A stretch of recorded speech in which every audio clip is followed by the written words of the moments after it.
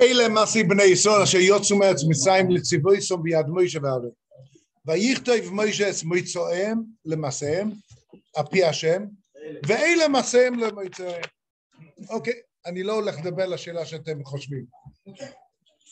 וייסו מרמסס, מתחילים המסויס. וייסו מרמסס בחודש הראשון, וחמישה עשר יום לחודש הראשון, ממוחרס הפסח, יוצאו בני ישראל ביד דרומו לעיני כל מצרים, ומצרים מקבלים את כל אס אשר היכה השם בהם, כל בוחר, ובאלוקיהם עושה השם שמותים, וייסו בני ישראל מרמסס, אנחנו בסוכס. אנחנו מתחילים לספר על המסויס, הרשימה של המסויס. באף אחד מהם לא כתוב את הסיפור מה שהיה. למה מתחילים את המסויס עם מה ש... בחידש יש ממוחרס הפסח יוצאו בני ישראל ביוד רמו לעיני כל מצרים. ומצרים מקבלים את כל... למה צריכים את ההקדמה הזאת? מה?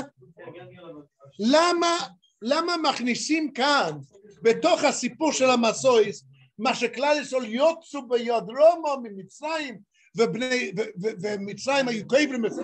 מה זה קשור? אנחנו רוצים לספר את הנסיעות שלהם, את המסעות שלהם, מאיפה לאיפה הם הלכו, איפה הם נרצ...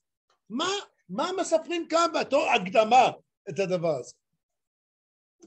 אז בואו בוא נדבר דבר ראשון, פשט בפסוק. בפסוק כתוב ככה, ממוחרס הפסח יוצאו בני ישראל ביוד רומו לעיני כל מצרים. מה זה ביוד רומו? מה הכוונה במילים האלה ביוד רומו? בגאווה. אז בבן עזרא בפרשס בשלח כתוב ככה, ביוד רומו, מה זה ביוד רומו? לא יוצאו כדמוס בורחים, הם לא יצאו כאילו הם בורחים ממצרים, אלא הם יצאו בהליכה. אותו דבר כתוב בעמק דובו. ובני ישראל יוצאים ביודרומו בפרשס בשלח, הוא אומר, אינם בורחים כלל, אלא הולכים לאט. ומשום הוכי השיגו פרי. הוא אומר, לכן זה כתוב ביוד רומו לפני, בפסוק הבא כתוב ירדפו מצרים אחריהם, אז אומר עמק דובו, למה כתוב גם ביוד רומו? כי ביוד רומו הכוונה הם הלכו באיטיות, איטיות. אתה יודע, אני זוכר שהיה ראש שיב אחד, שבתור בחור, אמרו, סיפרו עליו בתור בחור, שכשהוא עמד, כשהיה אוטובוס שהגיע, הוא לא היה רץ אף פעם לאוטובוס. אז אנחנו היינו צוחקים כי הוא נולד ראש ישיבה. אבל הוא אמר, כי, כי יהודי יש לו אצילות. האצילות הזאת דורש התנהגות מסוימת. אבל מה זה ביוד רומו? גם באבן עזרא וגם בעמק דובה כתוב ביוד רומא הכוונה הוא באיטיות, בלי, בלי לרוץ. אז דבר ראשון צריכים לדעת מה המעלה הגדולה של זה. אם המעלה הגדולה זה באמת הג'נטלמניות שיש פה, ודבר שני אני לא מבין, מצאנו בדיוק הפוך, מצאנו בדיוק הפוך, מצאנו בדיוק הפוך, בחז"ל כתוב ואכלתם מויסד בחיפוזין אז מה אנחנו לומדים משם? שהגאולה שהייתה במצרים הייתה בחיפוזוי. ורק על הגאולה שתהיה לא לו וכתוב כי לא היא בחיפוזוי תצאו במנוסה לתלכו. זאת אומרת, הגאולה של מצרים הייתה הפוך בחיפוזוי, בחיפוזוי. ודווקא לא לו ולא יהיה בחיפוזוי. אז הגאולה יכולה להיות בחיפוזוי, ואנחנו לא. אני, אז היום בבוקר, אני שאלתי את אשתי שאלה. למה שאלתי את אשתי? היא, הייתה לידי, אבל לא, לא, לא בגלל זה, לא בגלל זה, לא בגלל זה, אלא שהיא עובדת בתחום הזה. אני שאלתי אותה, תגיד לי, בתור פסיכולוגית, תסביר לי משהו. אני רוצה לצייר לך, שאלתי אותה ככה, יש בית כלא, ובן אדם חבוש בבית הכלא כבר חמש שנים. ומגיעים עליו, אומרים לו, תשמע, היום בלילה בתשע, אני סוגר את כל האורות, מכניס גז, כולם יהיו אה, נרדמים, כולם ירדמו, כן? והיחיד שיישאר זה רק אתה, והכל, כל החשמל לא יעבוד, זה יהיה מתשע עד עשר. אתה יכול לצאת, אתה יכול לברוח מהבית כלא מתשע ועשר.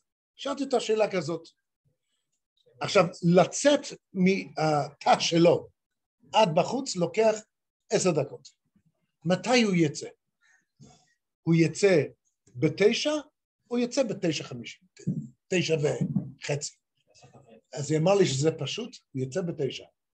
אמרתי, היא אמרה לי, דוגמה, דוגמה, בן אדם שיש לו תחבושת על היד, קנה אצלכם את התחבושת, וזה מעצבן פחד בקיץ, בפרט בתשעת הימים, כן?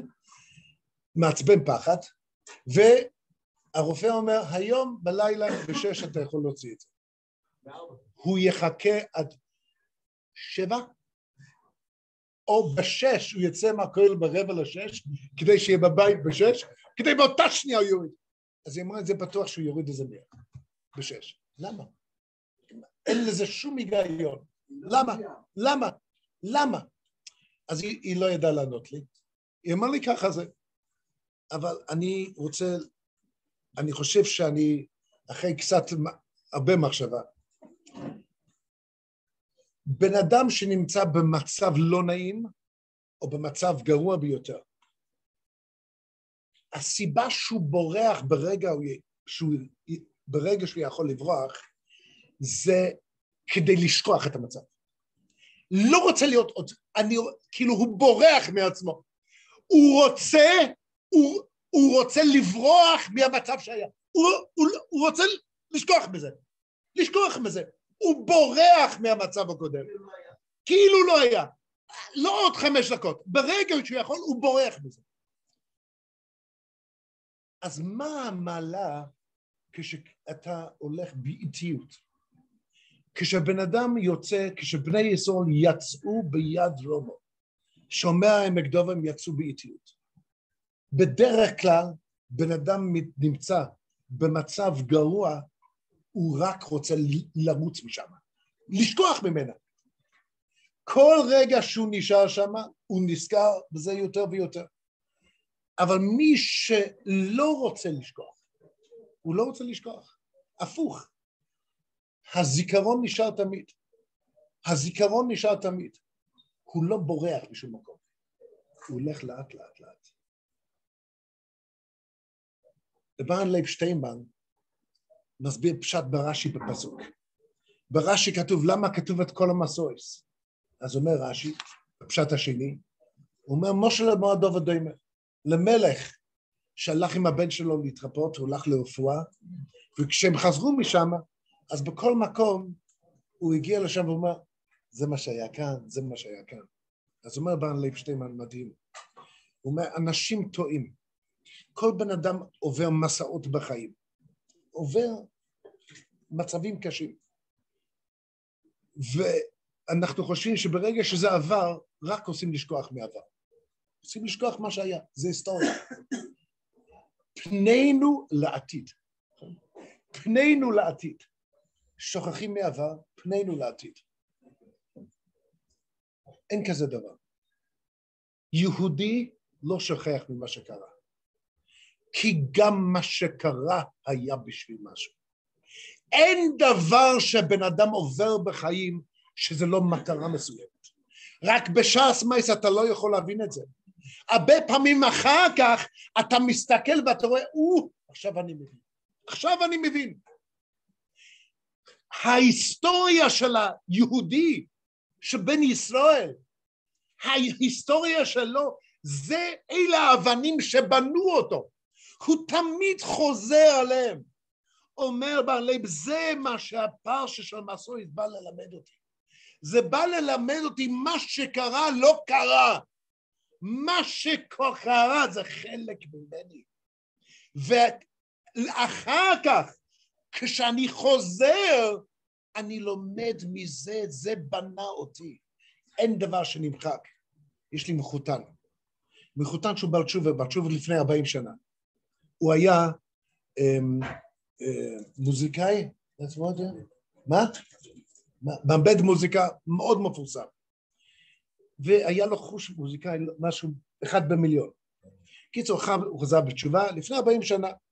דבר ראשון, הוא לא נגע בגיטרה. לא נגע, לא נגע.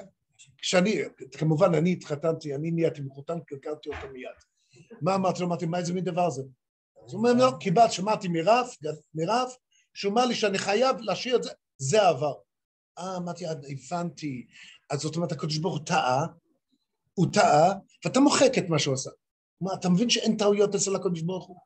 גם השנים שלא היית שומר תורה ומצוות, היום אתה משתמש בזה בשביל העתיד, היום הוא מלמד בו ישמח כבר שלושים שנה. בלי זה לא היית עושה את זה. גם החוש מוזיקאי שיש לך, זה לא דבר שמשאים אותו בעבר. כל מה שהיה במשך השנים, אלה נצחכים, הם חלק ממך לעתיד. רק מה צריכים לכוון את זה. אבל אין דבר שקרה שהוא עבר. אומר לבעל לב, זה המסר של המסורת. אומר לנו הפסוק, איפה התחילה הטרו? איפה הקדוש ברוך הוא גילה לנו את היסוד הזה שעליה בנוי כל המסורות של כלל ישראל בשעת יציאת מצרים. כי הקדוש ברוך הוא יצר מציאות מיוחדת שבו המצרים היו עסוקים עם הקבורה שלהם ולא הייתם צריכים לברוח לרוץ. הקדוש ברוך הוא אמר שיש לכם כל הזמן שבעולם לצאת. ויצרתם באיטיות ביד רומו. זאת אומרת, לא בורחים מעבר, חיים עם העבר. העבר הופך להיות חלק מהעתיד שלנו. איזה מסר שכתוב כאן. מדהים. לא בורחים, כי אף פעם אין מציאות שרוצים לברוח ממנו. אם הקדוש ברוך הוא שם אותנו במצב, אז זאת אומרת לאותו זמן זה מה שהיינו צריכים. וזה חלק מהמציאות שבונה אותי היום. ואני חוזר תמיד על המצבים שלי הקודמות כדי לבנות מחדש את החיים שלי. ולכן כלל ישראל יוצאו ממצרים ביד רמה, באיטיות, להראות שלא בורחים מעבר, לא בורחים משום מצב. וזאת הייתה תחילת המסעות של כלל ישראל. הנסיעות, זאת אומרת, הגאולה הייתה בחיפוזוין. הגאולה הייתה בחיפוזוין. הגאולה שהקדוש ברוך הוא הביאה הייתה חייבת להיות בחיפוזוין. רק לא עשית לו וזה לא יהיה בחיפוזוין. אבל המסע של כלל ישראל, בצורה שהם יצאו משם, באיטיות רבה, עם התבוננות על העבר ולקיחת העבר להמשך. איזה חיזוק בשבילנו, לחיים שלנו. כל מה שאנחנו עוברים זה חלק מהאבנים שבהם בונים את החומה שהוא הבן אדם, ושנזכה באמת לבנות חומה ושנזכה לביאס אל צדק במהרה בימינו אמן ואמן.